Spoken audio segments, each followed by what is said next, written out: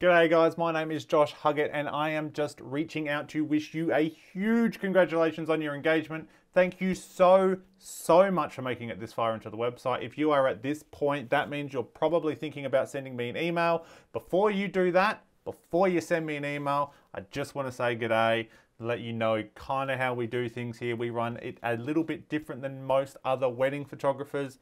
Um, and I think you deserve to know that. So we have multiple teams here in Adelaide. Uh, we can be at two, three, four, or five places at one time. Um, and we aren't your typical hide in the bushes, make you feel uncomfortable, weirdo wedding photography team. Uh, I hate having my photo taken with a passion. I am so incredibly uncomfortable in front of the camera. It makes me feel ill in my belly. Um, so I kind of replicate what I would like to all of my couples. I'm okay sitting in front of a camera and talking to a video um, because I just talk enough that it just makes me feel a little bit more comfortable. But if somebody points a camera at me and they're like, hey Josh, smile, I just freeze like this and I just I kind of look like Chandler in Friends when everybody tries to take a photo of him. Obscure reference for a, for a, a YouTube video thing, but if you get it, you get it. Um, so I spent 11 years working in aged care. My job was to make people feel as comfortable as possible when they came into the nursing home.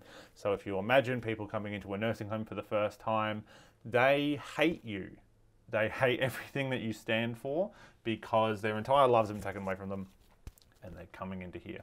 So my job was to go in, make people feel as comfortable as possible, have a yarn, say good day, have a good time, and just kind of try to bring down that barrier of like, I'm a professional, but I'm also your friend. Let's have a great time.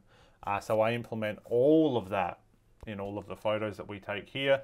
Um, we like to think of ourselves as an extension of your bridal party rather than professionals attending the day.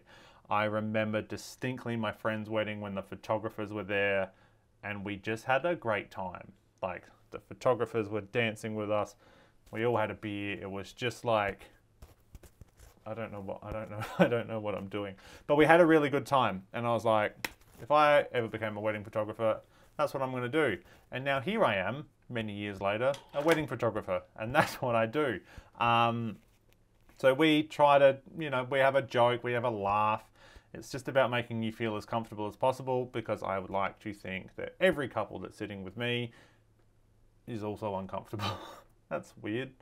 I like to think that every couple that is booked with us just wants to have a good time. Uh, and that's what we do. So We'll go through all the nitty gritty of how a wedding day kind of operates and what we normally do beforehand, but this is Adelaide.